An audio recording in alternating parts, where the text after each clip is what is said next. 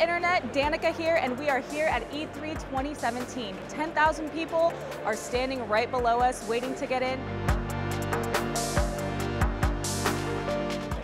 Let's see how far we can get. I don't even know where to go. This is so overwhelming. So as you can see, it's, uh, it's a madhouse in here. Um, Xbox's booth is huge. It is absolutely huge. And there are going to be lines of people everywhere um, playing Forza, uh, playing Crackdown, playing Sea of Thieves. And let's just take a walk around the, the hall and see what else we can find and see the booth setups.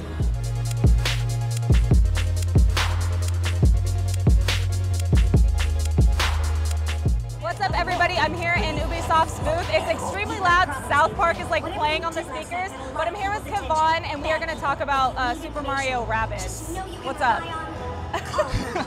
I mean, I'm first time at E3. I'm just here. Same. You know, Same. Yeah, just taking in everything and as much as possible, as much as possible. How do you feel about Nintendo Spotlight today and everything that they're offering for Switch, like a new Pokemon game and Xenoblade Chronicles 2, and just everything that they're bringing to Switch? So I mean, it definitely is that um, that system that you know they're trying to give you as much as possible. Not like the Nintendo Wii U that kind of flopped, unfortunately, but they're definitely giving you as much as you can. You know, trying to give everybody, not just you know solely Nintendo fans, but every fan possible that you get something that you anybody can come out and play. It's for your mom, your dad, your brother, your sister, your grandparents, every single person. So all the games is definitely something that it, that Nintendo is gonna come to the market right now and be like, yeah, we have everything. We're not going to let you just sit there and be like, oh, I wonder when this game is going to come. No, you're going to get this game. You're going to play. it, You're going to have as much fun as possible, and we're going to bring as much innovations as possible to help you out. So um, here's part of Activision's booth. Biggest game that they're showing at E3 is the new Call of Duty. We've also got like a giant, a giant Shadow of War booth, which is really awesome. This is like Disneyland, but for people who are really into video games, and some of these booths are definitely for people who are into video games on weed. So it looks like there's a Marvel vs. Capcom Infinite battle going on, but this setup is freaking sweet. This is the Monster Hunter uh, World booth, which is incredible. There's just a giant dragon sticking out of the side. Um, I'm very excited because finally a Monster Hunter is coming to a big giant console where I can watch it, play it on my giant TV, and I think that's a big theme about this year's E3 is we have a lot of new games that um, are part of big franchises that are now coming to consoles that you can uh, play on your TV with, like Kirby and Pokemon and Monster Hunter and a bunch of games. So I'm very, very, very excited. So we've got some Far Cry 5 gameplay going on over here. Um, I'm not super into Far Cry, but I'm very excited to check out Far Cry 5 just based on like the premise alone. I don't feel like waiting in line to play it, but it looks very good.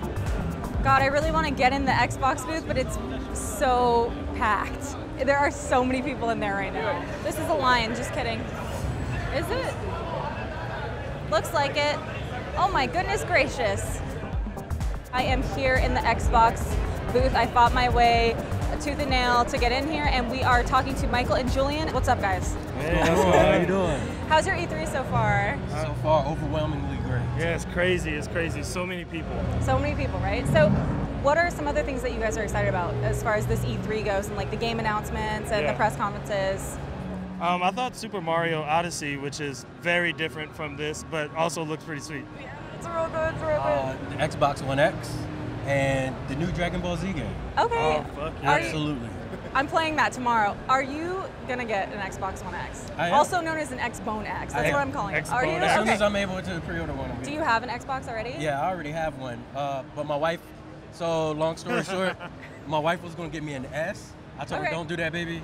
Just gonna wait. Just The wait. Just wait. gonna We need come the- we out. need the better So one. I've been waiting on it since they announced it.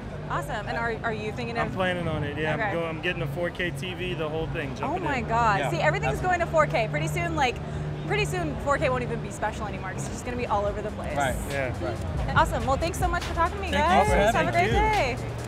Now this is a strange contraption I have not seen before. Is a cannon? Does not look so scary. Can I take a photo with you? Yes, you may. Thank you for asking permission. Ah, Thank you. that's a classic. Tag me. Okay, I will. I want